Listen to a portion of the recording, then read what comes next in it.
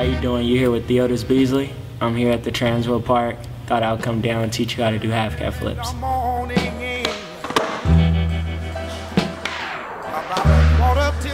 Uh, first off, I want to say you need to learn how to kick flip. That's really important um, to get the flip, and half Cabs also to turn.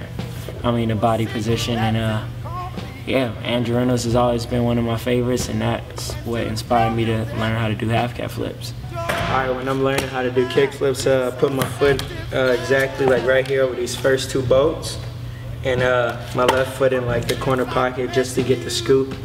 And uh, as I'm going fakie to do half Cab flips, um, I have it like that.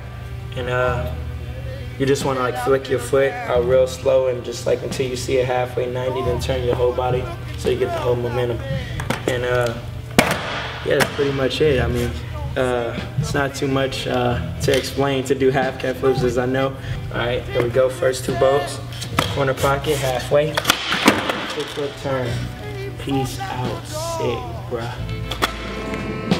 That you and I are here.